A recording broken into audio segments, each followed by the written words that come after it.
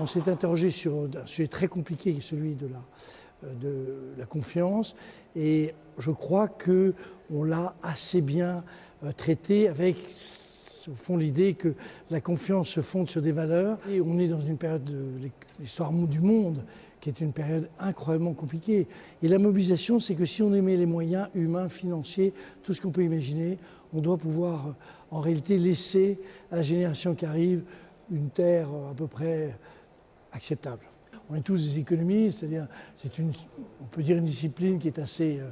rigoureuse, assez mathématique. On a l'impression que c'est plus une science sociale. Et en réalité, les 30 membres du service économiste sont très attachés à des valeurs qui sont des valeurs humanistes, de respect des gens, de dignité, enfin tout ce qui a été dit dans cette dernière session et qui consiste en réalité à imaginer une société dans laquelle chacun peut trouver sa place.